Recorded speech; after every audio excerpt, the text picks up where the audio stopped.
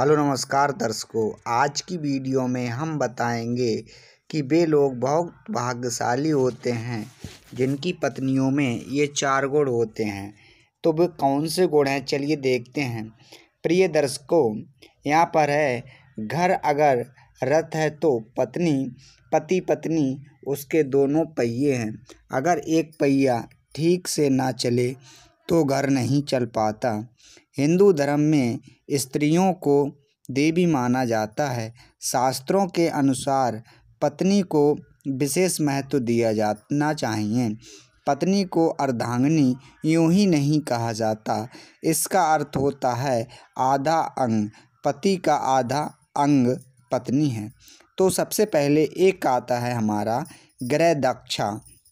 गृह कार्य में दक्ष वे स्त्री जो घर के सभी काम जैसे कि भोजन बनाना, साफ़ सफ़ाई करना, घर को सजाना, कपड़े बर्तन आदि साफ़ करना, बच्चों की ज़िम्मेदारी ठीक से निभाना, घर आए अतिथियों का मान सम्मान करना, कम संसाधनों में ही गृहस्थी चलाना आदि कार्यों में दक्ष होती हैं। उसे पति का भरपूर प्रेम मिलता है और घर भी तरक्की करता है। नंबर दो प्रिय बदा तो प्रिय बदा अर्थात वह स्त्री जो बहुत मधुर बोल सदैव और बड़ों से सहमित भाषा में ही बात करती है, सबकी प्रिय होती है। नंबर तीन, पति प्राणा।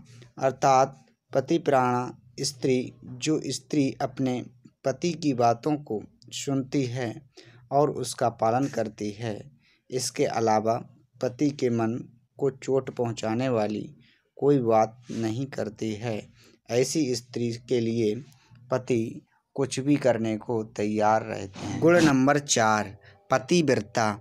वह स्त्री जो अपने पति के अलावा किसी अन्य पुरुष के बारे में नहीं सोचती धर्म ग्रंथों में ऐसी ही पत्नी को पतिव्रता कहा गया है। गरुण के अनुसार ऐसी पत्नियाँ पति को वल देती हैं और अंत में चलकर सुख भोगती हैं। तो प्यारे दर्शकों वीडियो आपको अच्छी लगी होगी। अगर वीडियो थोड़ी सी भी हेल्पफुल रही हो तो वीडियो को लाइक शेयर तथा